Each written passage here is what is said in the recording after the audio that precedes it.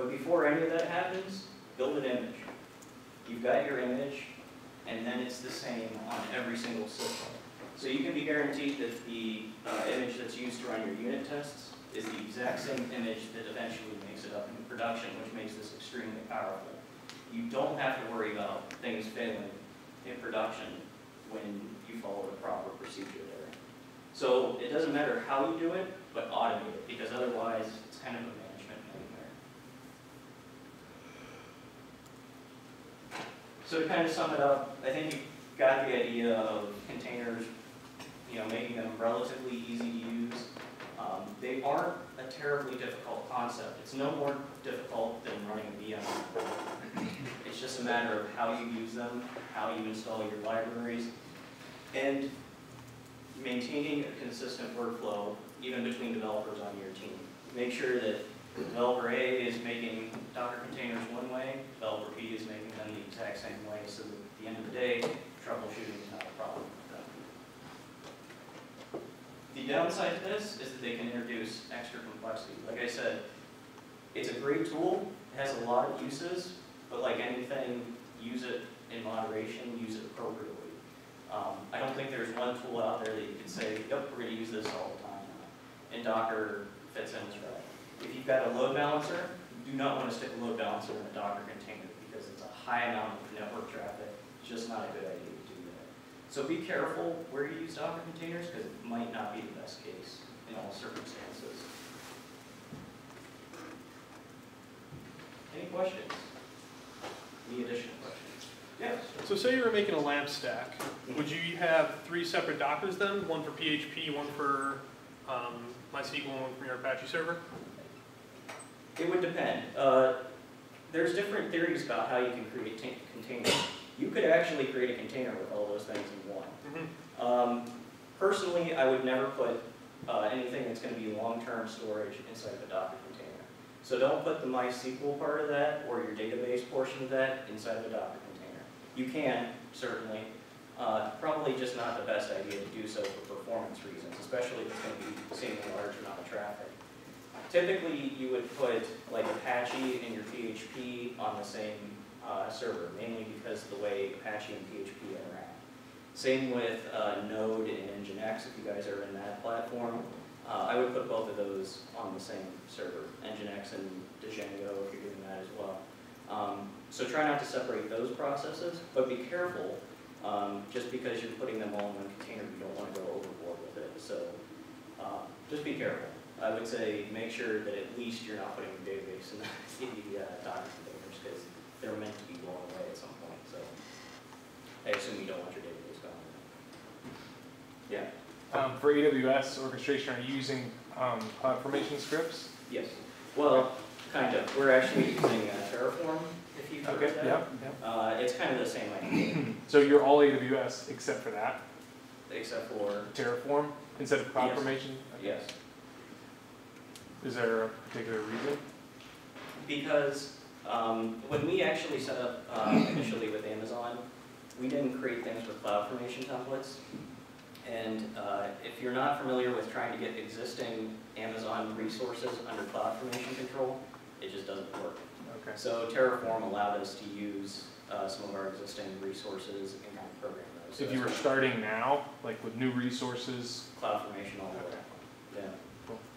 Yeah. So when you run that, like, the RM command to remove things, does that blow away all of the data that's been inputted since you started it? Yep. Yep. So basically, those containers are prepackaged. Every time you start up a container, you get a copy of the image itself. So if your image is running and it's doing some sort of process that's spitting out data, make sure you're storing that data in some place, whether that's exporting your file system and storing it off there, whether it's storing it into a database.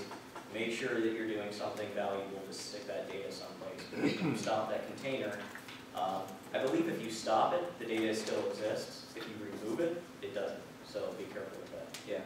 what's the difference between a Docker file and a Docker Compose file? Um, so Docker Compose is kind of, uh, if you look at the different types of orchestration platforms, Docker Compose was kind of a step towards this in the very beginning. So a Docker file um, uh, defines the image itself. A compose file says how do images or how do containers interact with each other.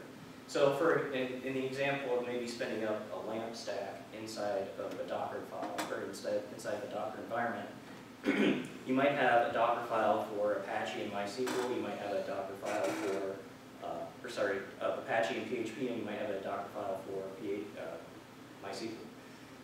The way those two containers interact would be defined inside the Docker compose file. Okay, so if you have multiple things like that that you're pulling into Right. one file, that, I mean, that's, that's like the approved way to do it, not create a new Docker file that then references these images Uh, of these yes, other Docker files, that would be correct, because you want your containers to be reusable, right? right? So you don't want to just build one container that only references another container. In fact, I don't know that there's a way to do that inside the Docker file, if I remember right. Um, so really, you use that, you build each component to act on its own, and then you connect them together with either a compose file, or you do a larger orchestration tool like this. Any other questions? Yeah. Are your developers actually, uh, like, running their code locally in a Docker file and editing code and running and looking at things? Jason? Yeah, I mean, we do all our development like normal on our machines and, and stuff, but what, what we've done then is we will have Docker on the machine. And we can, we can upload that and, and run the image and, and test it that way. And what's nice is we can then ship that to him, or ship that up to wherever we're hosting it. It runs. But you're not actually running your site in Docker on your local machine? Huh? You're not actually running your app in Docker on your local machine? Not, not while we're, de- we're developing now. Why not? And I would Development, for development, your mileage may vary. Yeah. Uh, Yeah. Uh, in our, my team, there, there's a lot of moving parts. You're looking at Redis, you're looking at, uh, Postgres, you're looking at Ruby on Rails, you're looking at Angular. Um, but we also have members of the team, some are working on MacBooks, some are working in natively in Linux. Uh, unfortunately, Docker particularly in, in, uh, the Mac world isn't really up to par. There are some things in our development environment that we do run in containers, uh, such as Redis and, and the, the database and our instance of Solr. But what we found is because of the way Docker interfaces with the underlying file system, uh, you don't, uh, it's, when you're going and changing files, you don't want to have to constantly be restarting your container. So you need your container to look at the file system and let it react to that. Unfortunately, uh, with Ruby on Rails, it is, especially when executing tests and stuff, it's incredibly slow compared to just running uh, Rails interactively through the command line. Uh, Meanwhile, the Linux folks are able to do everything in containers and it all runs great. So it- it's, it's basically situational depending on how, I've run into that, and I, I mean, I've seen a lot of progress being made on Yeah. that, making the OS X file system better with Docker. Right. I don't know It- if you've it's tried it there recently, yet. but it's not, it's not there yet, you're saying? uh, well, I mean, they're, they're coming up with releases periodically. Um, Most of our Mac users have just transitioned to Linux because they were tired Okay, of it. so they've given up on it, but like in the last And I six don't months, run, in the last I six don't run it, months. I still have a MacBook, but I don't run it off, often Okay. enough to attest to either I'm not in active development. And there's a reason I did all my demos on a Linux VM. Now, that being said, they just had a release last week. So they changed the versioning number, so if you hear like Docker 1.14 or whatever, They jumped to seven. that no longer exists. Well, as of Friday, it changed too. Yeah. Now it's community, community and enterprise as of Right. Friday. Right, so now you'll see things based on year, month, kind of like Ubuntu does with their versions.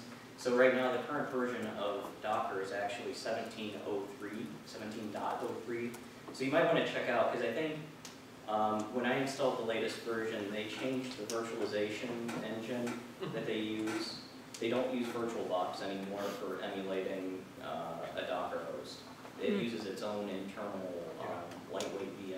So you might want to try it again, see if anything changed from last week. Okay. But there is definitely a reason I did that on last week. Yeah, Yeah. the reason why I asked was, um, uh, it was mostly because of debugging. Because like, like in Ruby or something, you have the debug port, I can still open up the port, no problem, attach my debugger. But for stuff like .NET, which you guys were doing, Yeah. um, there's not really, it's kind of attaching to a process, not attaching to a port. So Yeah, I would how that would work. recommend, if you're gonna do de- uh, development, don't do it inside of a Docker container. Ship it up to your development environment in a Docker container, don't necessarily do that on the local, because you're gonna run into a lot of problems.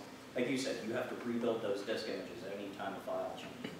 So that could get into a little bit of a tedious workflow, unless you've got some like, you know, fifty core system that I'm not aware of yet. And then maybe, you know, some super fast SSDs, maybe. But I would say definitely wanna work on developing like you always would. But use this as a tool to be able to ship code around rather than saying like, this is the end all, you know, for development. Actually, uh, if you install Docker tools for Visual Studio, you actually can hit breakpoints in Docker That's cool. containers. That's fun. Because even if you do build a container, you're like, crap, what's in this container? I want- I want, like, I want, because it's the thing going to prod, or it's breaking, I wanna be able to debug that thing. You know, so that's pretty sweet. Yeah, if you install the Docker tools for Visual Studio, you know the little uh, drop down where you can or production? Yeah, It adds another drop down that's Docker or IIS. that's pretty sweet. Yeah, I I think Microsoft, Uh, I, Visual I was using the regular Visual Studio, Okay. I'm not sure if it's in code. Microsoft's done a lot of work in the area of Docker, not only on their operating systems. Uh, actually, uh, just this past week, I was able to build, you know, our .NET four point five applications inside of a Docker container running Windows Nano. I definitely saw some performance issues with that, that was, that was a little bit slow. And, uh, if you happen to notice the hundred and twenty-eight megabyte, you know, Docker image that we had, that's, that's pretty nice the base image for the older legacy apps and the older .NET stuff running under IIS 10 is 8 gigabytes. So there's a little bit size difference there, and if you're gonna be shipping these things around, just be aware of that. If you're shipping Windows containers, they are gonna be a little bit larger. Yeah. I don't, I don't wanna beat this into the ground, but we're, we're currently using, so all of our lamp sites, we're building in Vagrant, which Okay. is a nightmare. Um, and so Docker's fantastic, and we've tried it on a couple sites, and the performance is great locally. All we're doing is syncing a folder to a folder, so a local folder to the, to the container folder. Okay. I mean, do you guys, have you, rsync, uh, doing like rsync uh. I mean, basically, like Yeah. with, with Vagrant rsync, Mhm. um, and with Docker, I believe it's also rsync. Are you building that into the image, or are you using, there's a dash V command? It's just a sync, so it's Okay. syncing my local file system into Docker. Okay. So when I update a file, um, I mean, it, the, the file's there live inside the Docker container. Right. Are you guys seeing downsides to that, or were you talking about actually building an image? I'm, I'm just talking about PHP, which would just run an uncompiled language. Well, that was, that was kind of the issue, the, the container being in, in sync with the, the file system, whether it was rsync and there were other options, but none of them. It, it would, it would update the container, but it, It was slow. I, I mean, running, for example, a unit test suite in a container was, Hmm. It, it was orders of magnitude slower. Wow.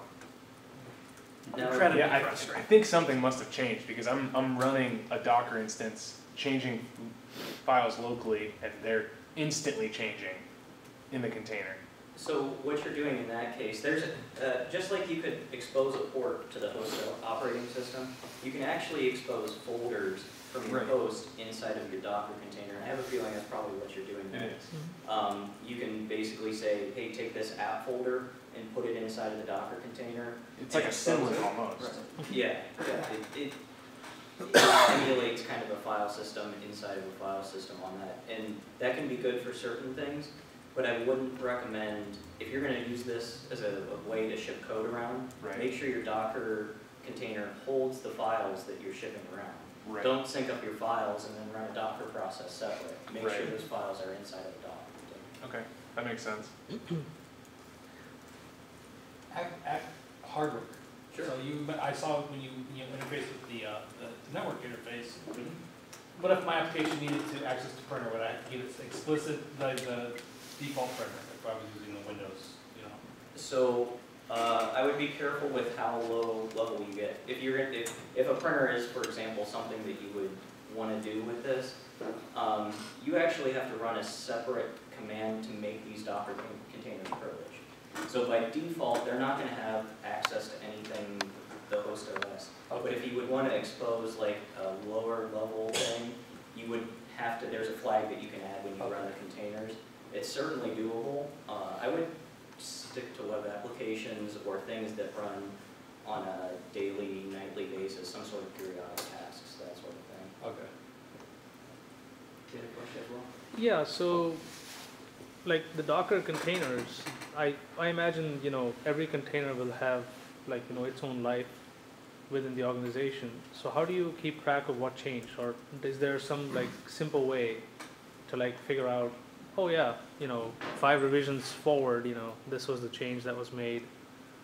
So is there any provision natively in Docker to provide that kind of deal? Unfortunately, not in Docker itself. Okay. And that's why I stress the automation portion of it. Mhm. When you look at the history of a Docker container, you're just gonna get version numbers. Probably not that helpful. If you've got some sort of situation like this, where where you've got an integrated pipeline, developers are checking code into Git, you are going to be able to say, the build server kicked off, and it grabbed these changes from Git, and it an image with those things. So in that case, it would, but natively, Docker by itself doesn't have that uh, built into it. So, yeah, definitely automation is, is a must there. Cool. And we would, you know, in our company, we haven't got to that point yet, but this would, I'd be, you know, I'm sure Jason Dobbs would love that, but uh, that's a little bit down the road for us even. Anything else? Awesome. Well, thank you guys for having me. I appreciate it. Uh, Appreciate you guys coming